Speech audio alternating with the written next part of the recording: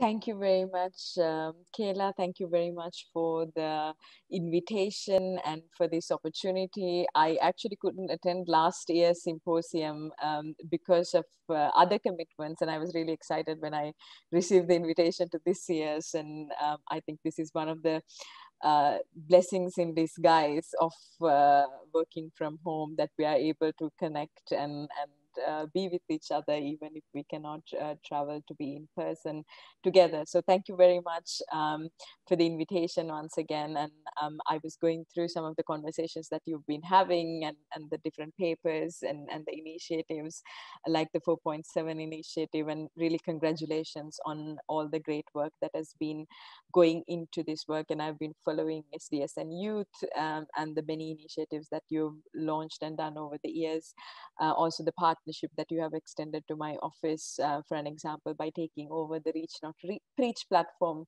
for a month and really making your voices heard within these platforms created in the UN.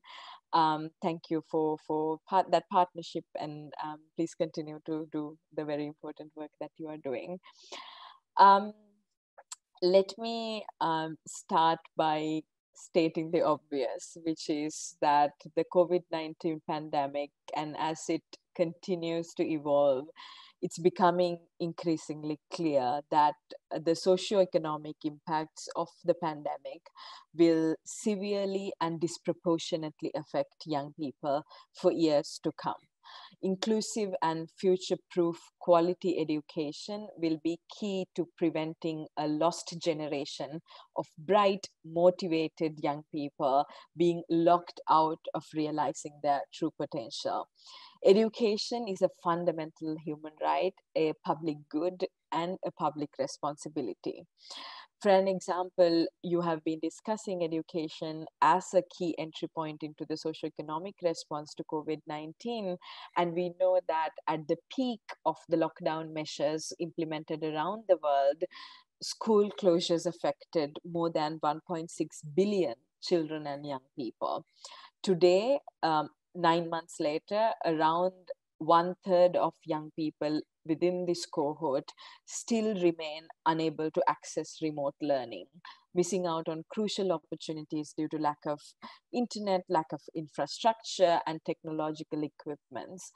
Marginalized groups of young people, including young women and girls, disabled young people have encountered even greater obstacles in being able to access and fully participate in education under the challenging con- conditions of the pandemic.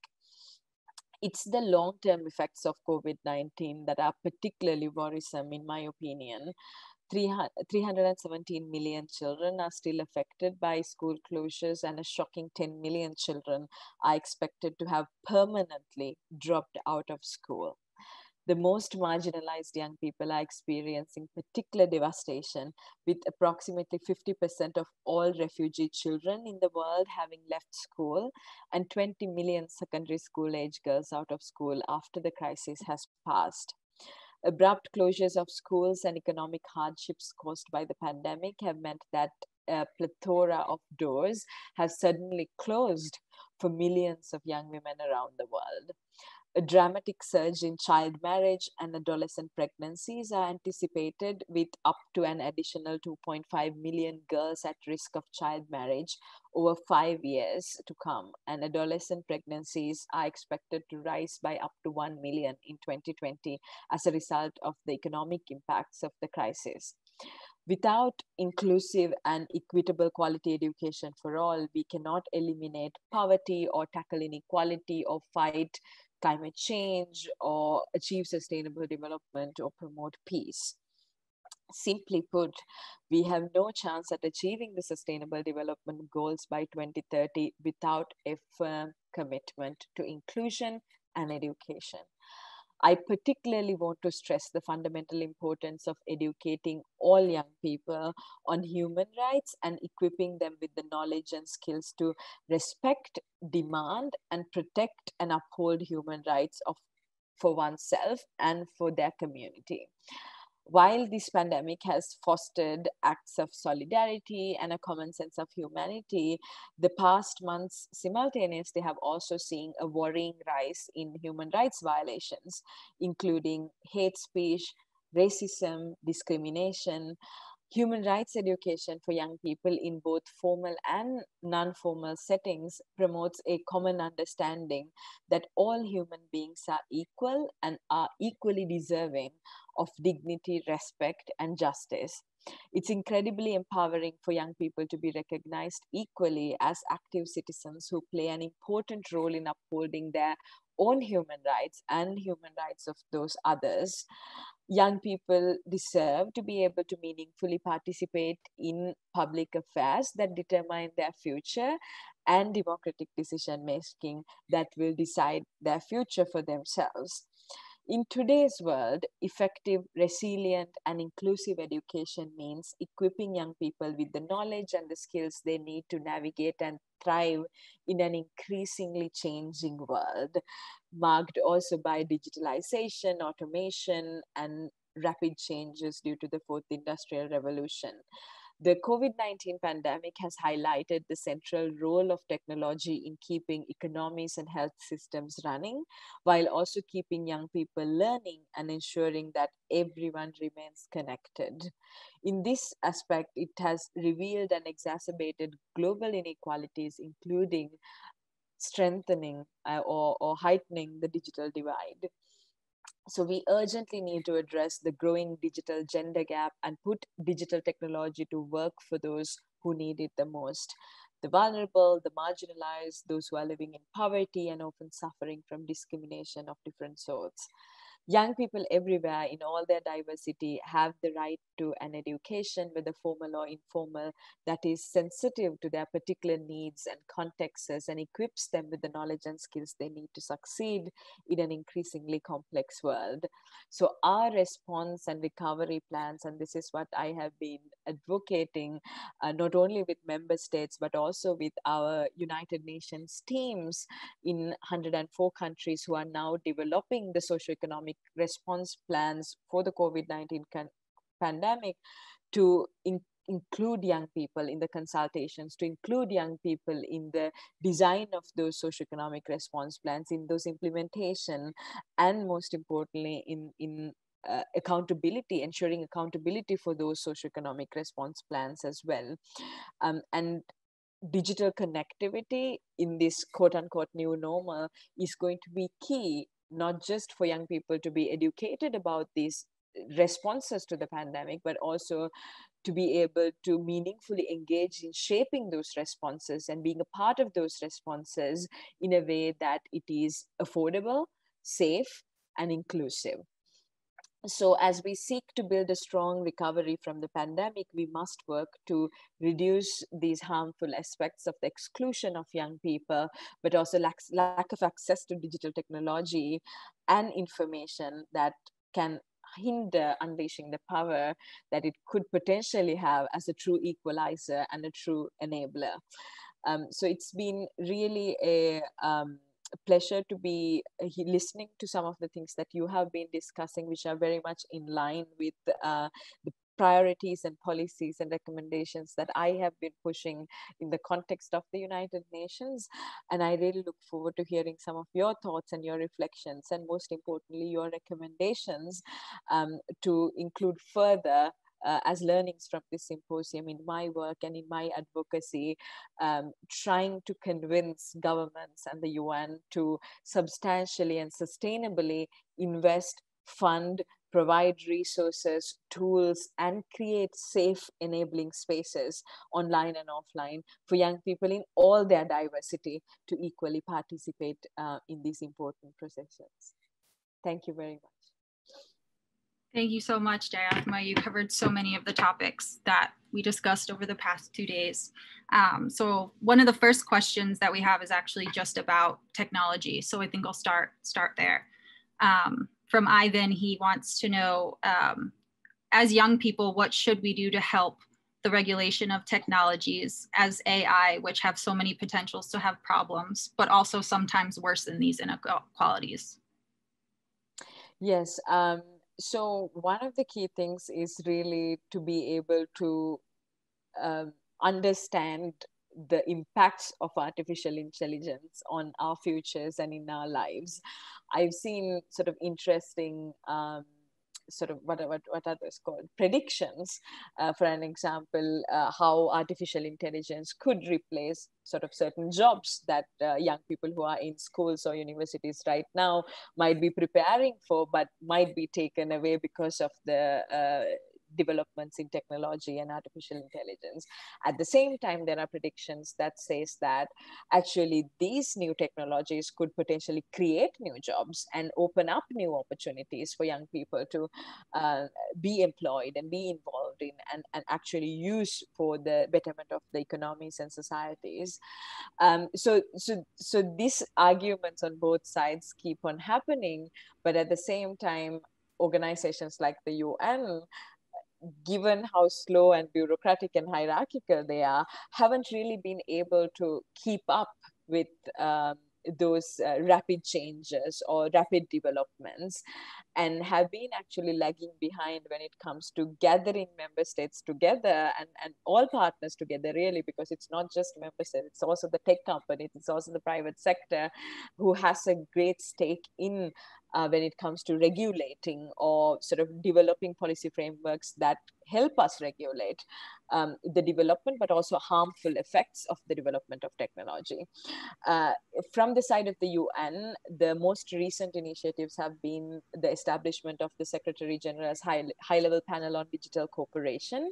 And now there is a roadmap developed in order to further sort of take the recommendations of the high level panel forward.